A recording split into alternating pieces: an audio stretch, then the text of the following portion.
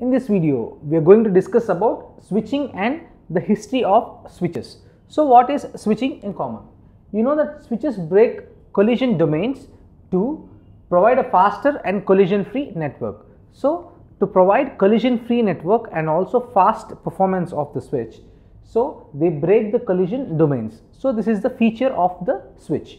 So, coming similarly redundant link in layer 2 can cause loops. By now you we all know that loops are dangerous and also it degrades the performance of any device or switch and router.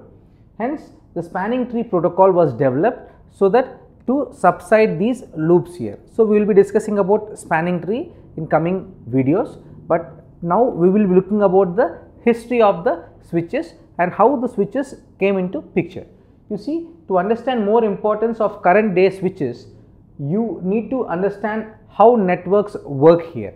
So, how networks used to work before the switches got introduced. So, we all will see an example here that when Novell became very popular in late 80s and early 90s, then NetWare servers replaced the popular OS2 and LAN manager servers. So, the LAN manager servers and OS2 servers are replaced by the NetWare servers.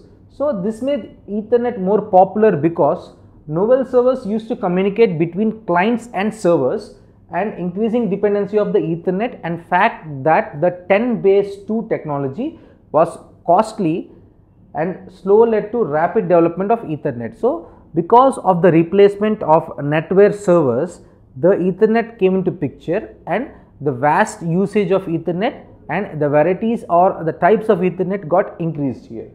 Hubs were added to network so that 10 base 5 standard could be used for one host and hub port connected on each cable. So, it used for one network and hub port, hub port is connected to each cable and this led to collapsed backbone network such as the one shown in the next year. So, what is the collapsed backbone network here? You see that the collapsed backbone network will cause a problem due to this and the switches are used here. So, you see the corporate network became very huge and very slow in performance and since most of the services are available in remote offices, so that dependency of the services got increased. So, you see collapsed backbone network here. So, the collapsed backbone network single collision domain we have all the hubs connected to one router which is in the head office and the head office is connected to branch office and a single collision domain hub is also connected to the branch office. You see office again have a hub here connected to single collision domain.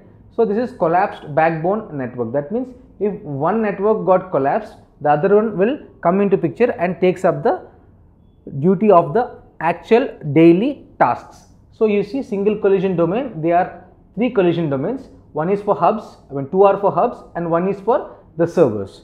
So, this is about the switches and their history here.